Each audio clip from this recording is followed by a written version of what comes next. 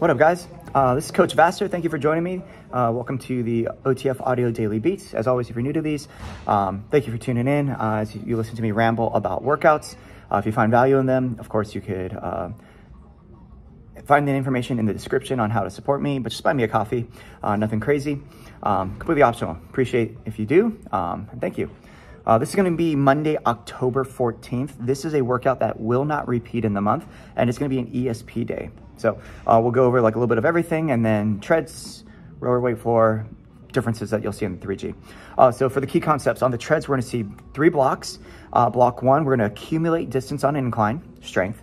Block two, go all out, there's your power. And then in block three, how much, or aim to match or beat your block one distance, but at flat road. So that's gonna be your endurance. So really today is like a SPE day, which if you think about it, is one of better ways to kind of set it up um, in terms of like uh, aerobic activity. Um, since the legs are tired from the strength and the power, it's gonna make that endurance block just that much more challenging. For the row today, uh, there's gonna be one power row and block um, timed with the treads, and then can you match your all-out intensities? So distance or wattage.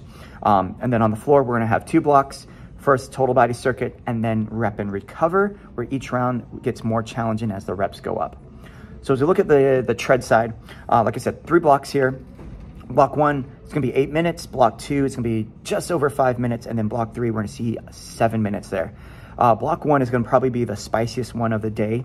Uh, it's an eight minute tread for distance. They'll clear out the screen at the start. However, the key takeaway is power walkers, joggers, and runners, they're gonna start at an 8% incline.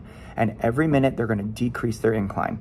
Uh, for anyone who is doing the bikes or striders, um, kind of the same idea. We'll start with like a push gear or more, and then see if they could decrease gear and increase RPM. Uh, a good challenge is for them to start pretty high on that gear, so maybe four or five gears over base, and then every other minute drop a gear. Um, for people on the treadmill themselves, uh, power walkers, 8% or greater, that's like a what we usually do for like a 30 second push. So maybe their walk speed is just a hair bit lower and as the incline drops, they could bump up their walk speed. Joggers and runners, uh, personally, I would recommend they start below their base or at base for the more like conservative range or maybe like a base push up to like a very conservative push because uh, that 8% incline is really going to catch up quick, especially since they're doing that for the first minute. And then minute two is not much of a difference at 7% incline. So that added incline is almost as if they added, you know, about 1.5 miles an hour to their speed to begin with. So uh, it's gonna get pretty spicy, pretty tough to begin with. Um, we are gonna track total distance for those eight minutes and then we're gonna remember how far they got. When we look at block two, it's very simple. Equal work and rest, 45 second all out, 45 second walk recovery. Uh, the rowers are gonna be timed with that as well, as mentioned in the key concepts. Um, looking to maintain because it's one-to-one, -one, it should be pretty simple to do, at least two or more of that base speed and just hit it every time. Maximize that recovery, so remind them to drop that speed under three if they need to during those walk recoveries. Now, block three, um, seven minutes total. They're gonna do a six minute tread for distance followed by a one minute all out. The tread for distance is at flat road. So power walkers, um, 1% or greater, joggers and runners, uh, whatever speed that they wanna kind of maintain to collect as much distance so they can match or beat the distance they got while using incline. Um, so if they started at their base and they slowly bumped it up, um, maybe they start just above their base and continue to bump it up. And that's gonna be the, the tread side. Um, after that, for the weight floor, block one, eight minutes there, it's gonna be a circuit of three movements. Uh, we're gonna see hammer curl to shoulder press, single dumbbell sumo deadlift to a sumo squat, and then the high plank switch alternating low row.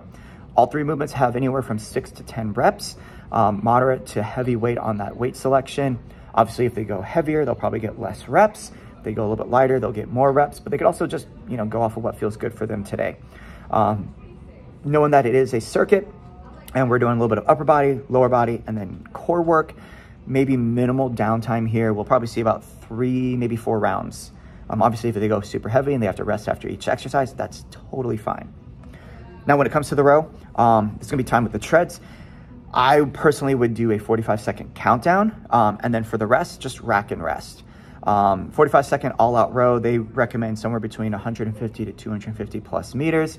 So if they want to use the distance metric as a way to maintain intensity, obviously match their distance, um, they have to keep the same intensity. Or they could look at average watts. So can they hold their same watts every round, every time? Um, in total, they're going to see four all outs there. After that, they'll have 90 seconds to head back to the weight floor. Weight floor is going to be uh, timed. We're going to have one minute intervals and we're gonna be alternating between two different movements. You have the strap bridge row and the hand release push-up. For round one, you'll have a minute for the first movement, 10 reps.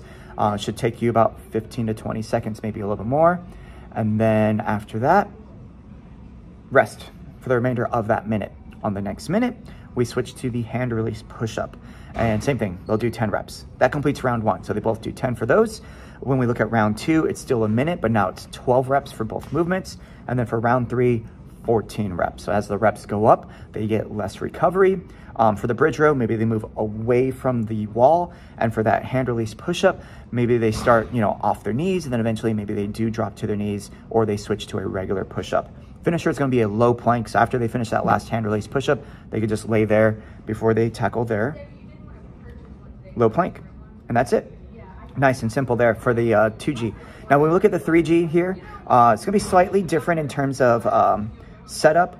So the treadmills, um, they're going to be starting at that 8% incline, but it's going to be a five minute block this time instead of eight minutes. So they're not going to get all the way down to flat road. Um, still, they'll start at 8% incline every minute. They'll take away an incline. Um, other than that, it's going to be the same thing as the treads. So block number two, power block here, 30 second intervals between the all out and the walk recovery. Um, three all outs there. And then the third block, this will be repeat in block one, but flat road. So tread for distance, it's gonna be four and a half minutes. Um, four minute tread, 30 second all out. And then obviously try to match or beat their block one distance. Now the rower is gonna be one long block. They're gonna start with a body weight movement for the alternating forward lunge. Uh, reverse lunge is of course a good option there. And then they have an 800 meter row. They choose the intensity, but ideally every round row gets shorter, so increase intensity. So can they add to their average watts or notice their split time and try to drop their split time every round, especially with the 800 and 600 meter row, long time to really establish a good rhythm and keep that stroke rate consistent and their split time consistent for those longer intervals. Now on the weight floor, we're only gonna have two blocks here. Um, and this is gonna be slightly different than what we saw in the um, 2G. In the um, 1G, in the 3G, the first block, 8 minutes, 45 seconds, we're to see the same circuit as we saw in block 1. So hammer curl to shoulder press, uh, single dumbbell sumo deadlift into the sumo squat, and the high plank switch low row. They'll repeat that for those 8 minutes and 45 seconds, 6 to 10 reps. But now the block 2 is no longer rep and recover. They're just going to do 8 reps for each movement of the hand release push-up and the strap bridge row. And they'll repeat that for four and a half minutes. Um, Obviously, upper body push, upper body pull. The transition as they stand up and lay down is going to be part of that recovery. Um, we'll probably see two, three, four rounds here, depending on how fast they move and their range of motion. And then their finisher is to keep working. So increase intensity. Uh, nice and simple there. Their goal there, of course, is to get at least two plus rounds in those four and a half minutes. And that's the 3G. Um, that's all I got for you guys on this one. Uh, as I said, this is going to be one of the last standard um, non-repeat workouts. There's one more in the month, and of course that's the one mile benchmark, and that's like basically every one mile benchmark workout. So nothing too crazy there. Anyways, uh, any feedback, as always, let me know. Um, if you found value in them, information's in the description to support me. Other than that, coach it down.